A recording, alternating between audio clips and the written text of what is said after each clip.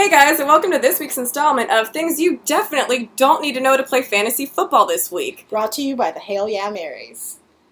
Okay, first up, Joseph Randle, Ooh. the handcuff for DeMarco Murray on the Dallas Cowboys, was in handcuffs this week because he allegedly stole underwear and a tester bottle of Gucci Guilty Black Cologne. So like the tester bottle. Not even the full box that's wrapped, the tester. The te- like there may have been like a quarter of the cologne left in the bottle when he allegedly tried to steal it.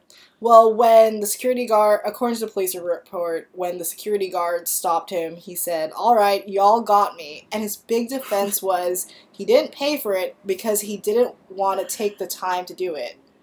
I mean, when you're in the NFL, it's like go go go quick quick quick rep rep rep. Like you don't have time to wait in line and buy used cologne and underwear. The underwear was brand new. Well, hopefully. I. I would hope so. yeah, anyway. You never know. Anyways, segueing off into Ryan Tannehill of the uh, Miami Dolphins, his wife got caught. She left an AR-15 rifle in a rental car.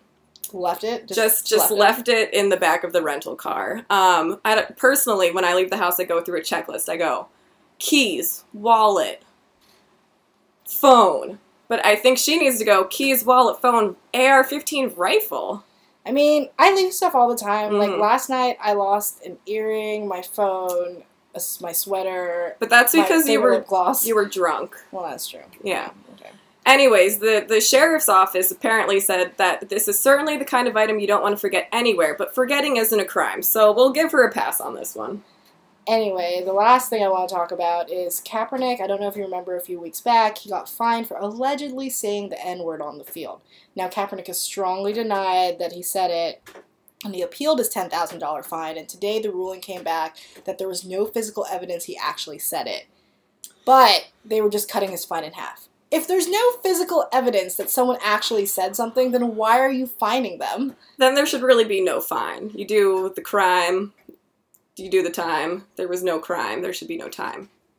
Great logic. Thank I you. get it. And this is you. not because I'm a Kaepernick fan and he, Mhm. his ESPN body issue uh, spread was the back of my computer last season. That's exactly why I'm defending him.